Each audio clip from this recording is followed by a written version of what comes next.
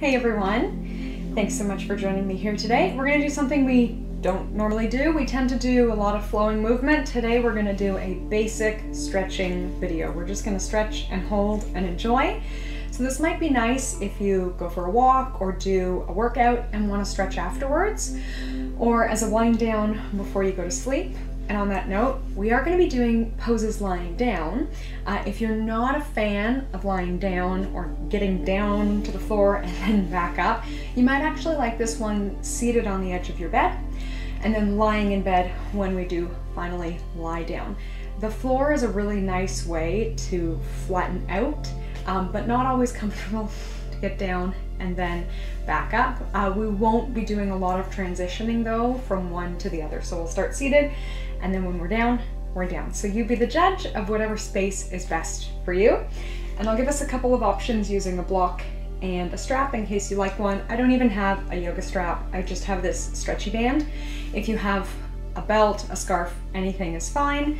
Um, and if you don't have a block at home, um, a thick pillow might work or even a rolled up yoga mat.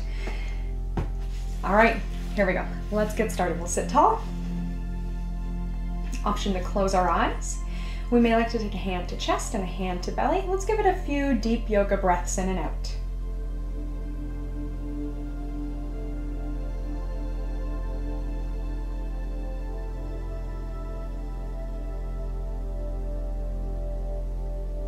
Feeling the expansion of our entire torso here. So as we breathe in, we feel the belly expand, the ribs expanding front, side, and back, and maybe a little lift in the shoulders, but not too much.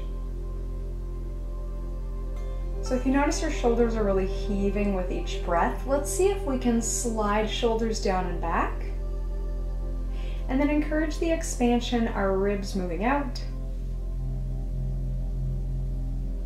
our chest moving forward, our back expanding, and the belly expanding. But we'll keep that length in the neck so the shoulders aren't moving up with each breath.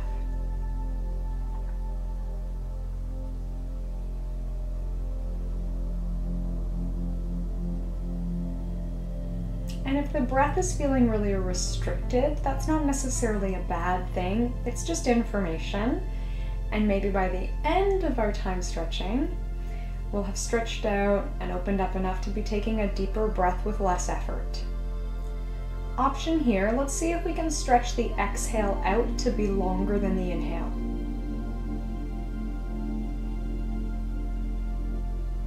Full breath in, long breath out. This is designed to help us feel calmer, slow things down. So if that doesn't work for you, please breathe in a way that does feel calming.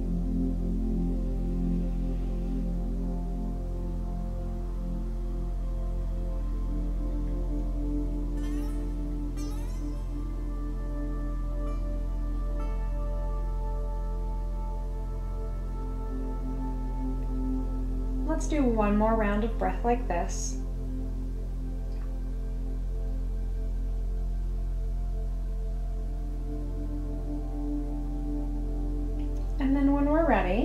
Can release our hands, we can open our eyes. Let's give our shoulders a nice big squeeze up to our ears, and then in sliding them down and back, we'll leave our shoulders as they are. And let's do our best to leave our spine where it is. We're just gonna take ear to shoulder one way. We may like to close the eyes as we go. We may still be breathing in fully and then exhaling for longer than our inhale if that feels good.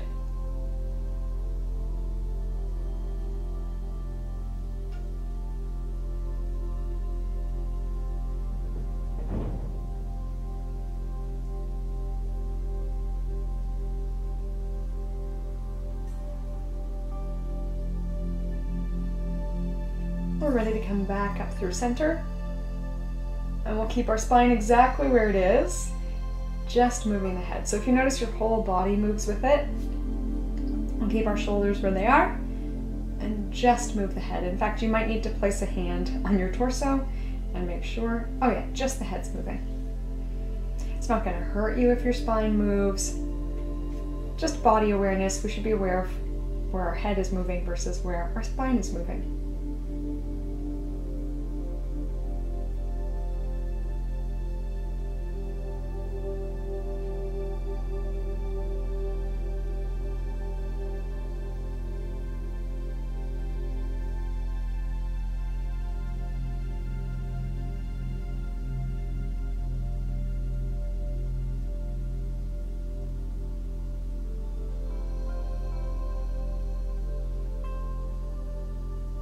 Take one more round of breath in and out. And we're ready, come back through center. Let's take the chin down to the chest. Again, we can keep our spine straight and just tuck the chin to the chest. And let's notice what kind of sensations are going on in the back of the neck and the rest of the body.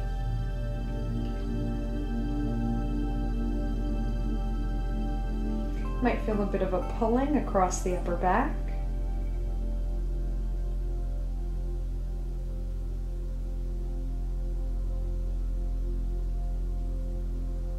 Maybe we're noticing our breath in our backs more.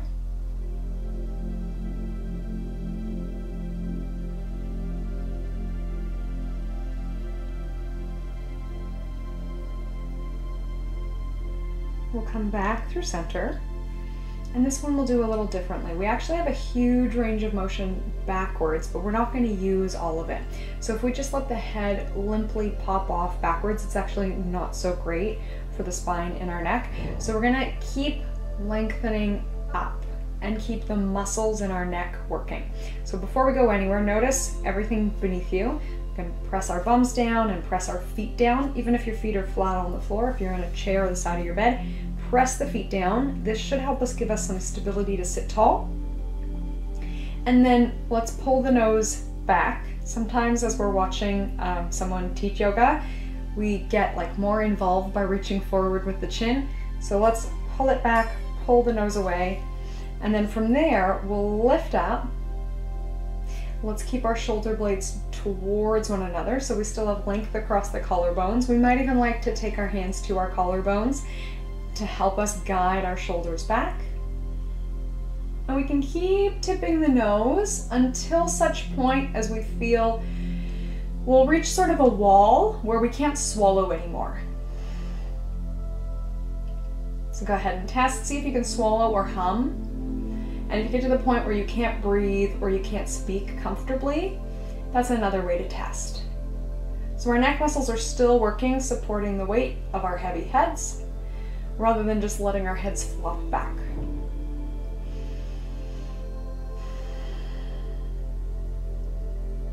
Opening our hearts, lifting from the center of the chest.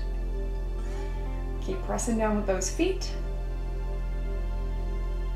And we're ready to come back through center.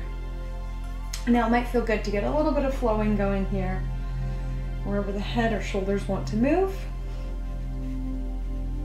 And let's come into our lateral flexion. So again, whatever is beneath us, we're gonna press down to lengthen up. We'll keep that length going. Let's go ahead and reach one arm overhand. And we're gonna open the side of the waist. So yes, we can just shift our hips with us, but let's keep, so if we have our right hand in the air, the right side of your bum is pressing down.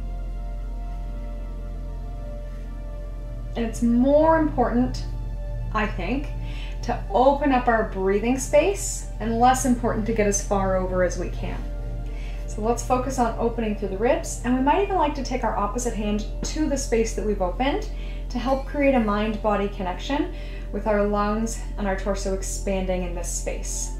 So it might feel like we're breathing into our underarms, or kind of breathing into the bra line. And if it feels like a really far reach to bring it all the way across, we could always rest the arm. That's okay too.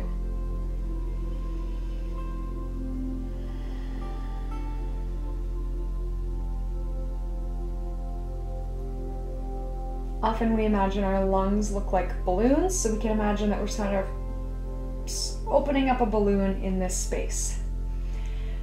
And before our hand falls asleep, let's bring it down and we'll take it the other way.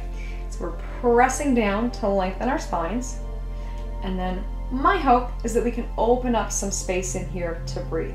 You may have a different personal goal, and that's okay too. Feel free to modify this however you like. If we want to feel our own breath, we can take hand across the rib. Might feel again like we're breathing into our underarms.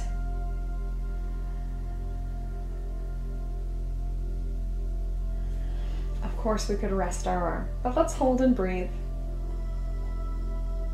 maybe we're noticing discomfort and we can adjust to make it more comfortable. And it might feel really good, and that's okay too.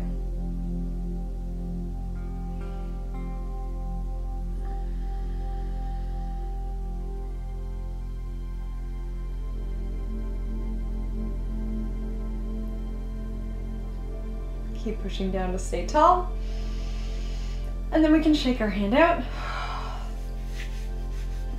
And we're ready to lie down on our mats or beds or wherever we are. And let's keep our stuff just sort of close by within arm's reach. And we're actually gonna start with our strap. So it's uh, a bit easier to ease our easier to ease our way down if we hold behind one leg to resist gravity. And then let's draw one leg into our chest. So we can start with the right leg in. If it's more comfortable or accessible, we can hold on top of the shin or behind the thigh. And our straight leg, we can actually push that foot down a bit to give ourselves more stability. And we might like to flex or point the feet.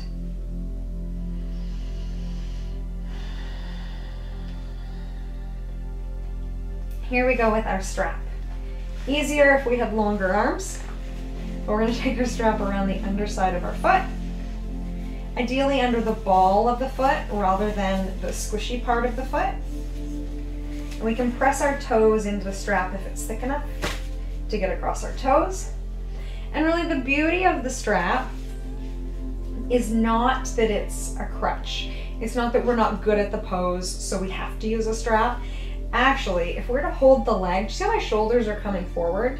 Sort of like I'm slouching while I'm lying down. And this is the position that we're in all day when we're typing, doing dishes, texting, that kind of thing. So if I have the strap, I can now, hey, put my shoulder blade straight on the floor. I could leave my arms straight, or I can even rest my triceps back down. So we don't usually think about this in a hamstring stretch, but if you're working on those yoga push-ups, the chaturanga push-ups, this is a nice way to work on that form because we're in the same position that we should be in at the bottom of our push-up. Our elbows are at 90, our shoulder blades are down, and we can use the surface beneath us to help increase our mind-body awareness in the back of the body. So you thought this was gonna be an easy stretching video, but really, we're working on our push-ups.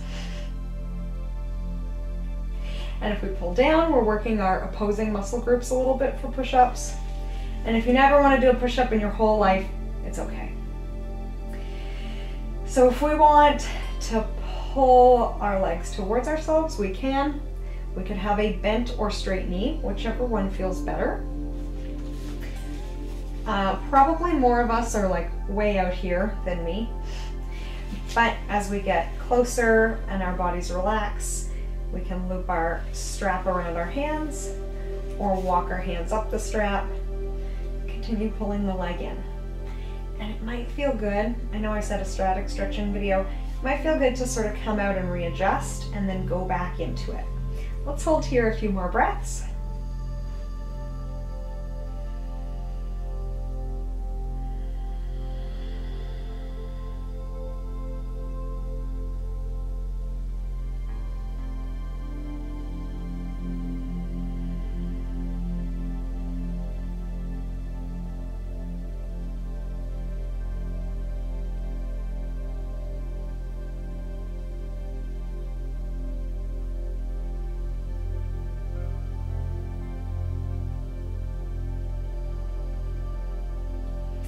We'll do the same movement, but we'll take our strap in the right hand closer up, and we might like to counterweight it with our left arm, depending on how long your strap is. We're just gonna let the leg come out to the side, that's all. So it probably becomes more of an inner thigh stretch.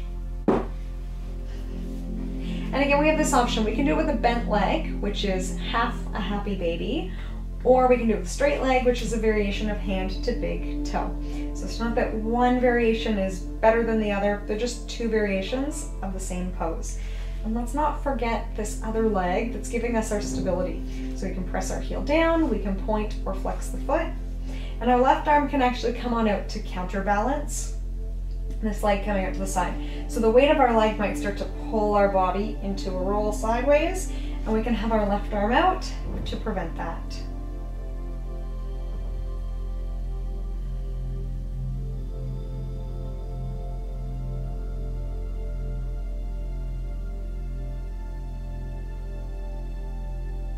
Noticing where we're feeling the stretch.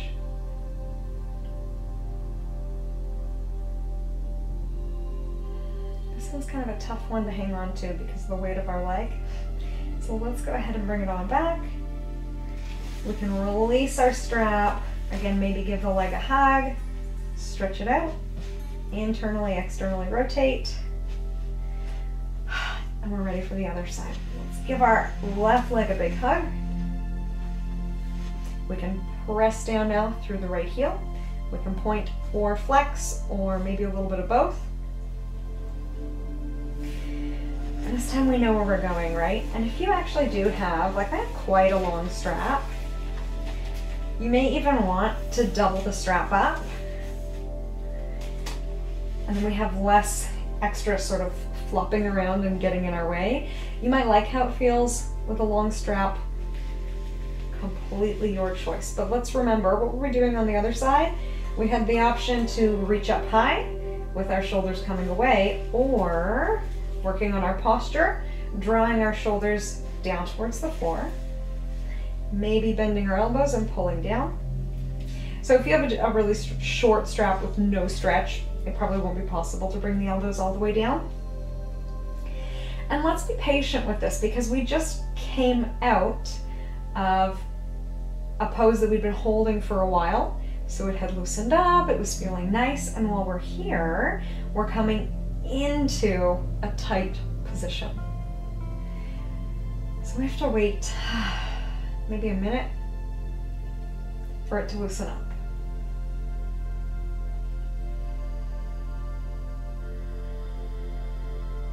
Maybe a little movement, coming out, going back in, adjusting the foot.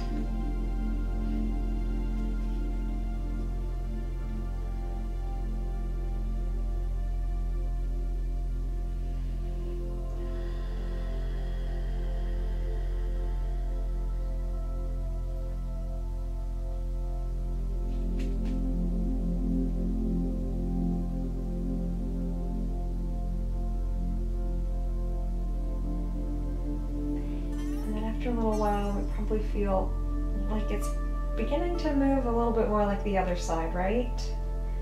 Getting closer to that loose point that we had on the first side.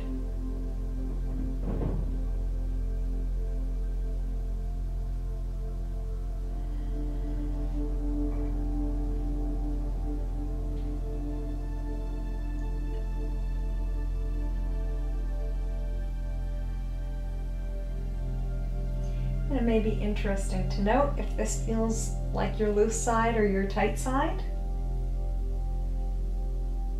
And there may be a reason for that. I know I injured my left hamstring maybe about a decade ago, and it has never been the same since. Or it could be something much more recent that you were balancing on one leg, trying to do something, and you had no need to do it on the other leg, so you just tightened up one side for the short term. But might be interesting to note. Okay, here we go.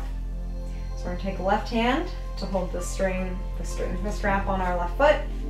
Depending on how much strap we have, if you have a really long strap, you could keep holding onto it with the opposite hand pulling down, or our opposite hand could come out to the side to counterbalance, and we let our foot come out. So I'm going to turn just to see you a bit better while we're here. And you can stay exactly as you are.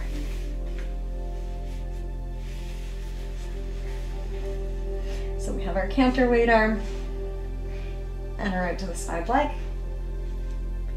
Staying stable, our right foot can press down.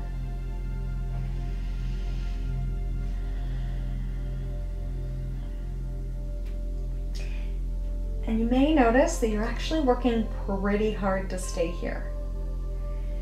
You might might be working really hard to hold your leg out. It might feel really tight or be shaking a lot. So sometimes we call that kind of the comfort edge. So we're not completely relaxed, just hanging out, enjoying every moment. There is some discomfort, but it's okay. It's okay to be straining, it's okay for our muscles to have that little shake going on. And then hopefully over time, we get used to stretching, we get used to moving our bodies in a certain way. And it's sort of like our bodies or our muscles know the drill. Oh yeah, I'm coming into that leg out to the side pose. Okay, I've got it.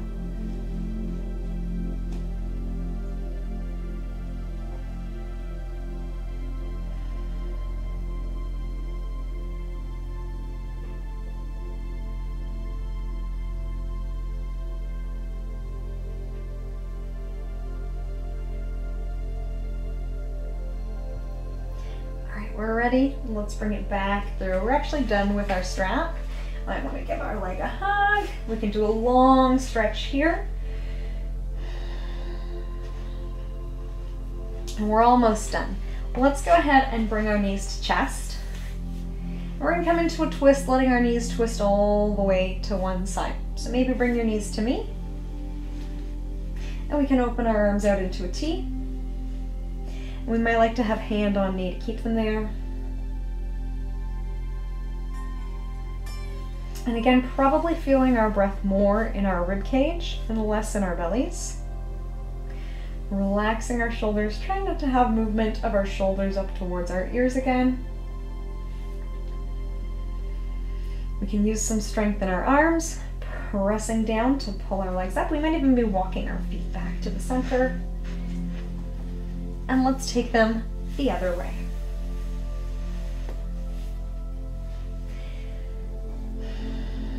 You may find you have a really small range of rotation. We don't tend to do a heck of a lot of rotation in daily life unless you spend a lot of time sitting in the driver's seat reaching into the back seat. In which case, again, you may notice you have one really stretchy side and one really tight side. Just something to be aware of and over time hopefully we build more balance one side to the other.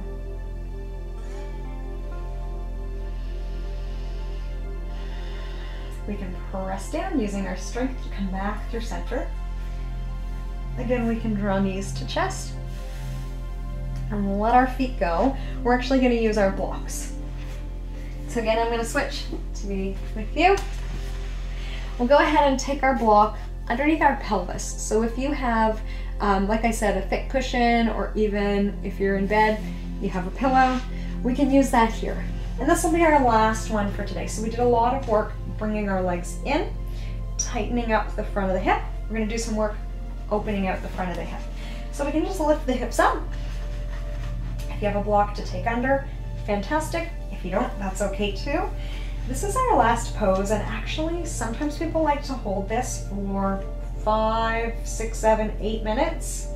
Um, and if you are really tight through here, so this is, my athletes often get really tight through here. Sprinters, hockey players, really tight through the front of the hip. We can leave our arms out to the side. Again, maybe an opportunity to slide their shoulder blades down away from our ears. And we're probably noticing a feeling of inflation in the front of the body. So we can relax our abdominals, breathe into the belly, front of the ribs up into the chest. We can stay exactly as we are. You may like to straighten out one leg or both legs.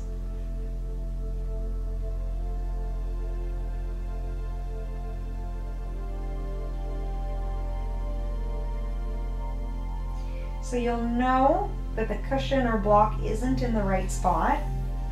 If it's too high up in your low back, you're probably gonna have pain in the low back and just sort of your belly pressing forward. And you'll know it's too low down if your bum is kind of falling off and you're tucking under. But that Goldilocks just right spot is when we're on the back of the sacrum. So if you were wearing high-waisted jeans, maybe where your jean pockets are, not low-waisted jeans, those tiny little pockets right on your bum cheeks, like just the uh, where your bum starts to meet your back and it's the bone of your pelvis. So I'm gonna leave us here and I'll leave some music for you to enjoy. Maybe we like to take hands to belly to be more aware of our belly breath. And while we hold this pose, of course, it might get to be a lot. We might want to come back to just one leg bent, both legs bent. We may like to take the block away entirely and come into relaxation. So yogi's choice, we'll spend some time breathing and enjoying length through the front of the body.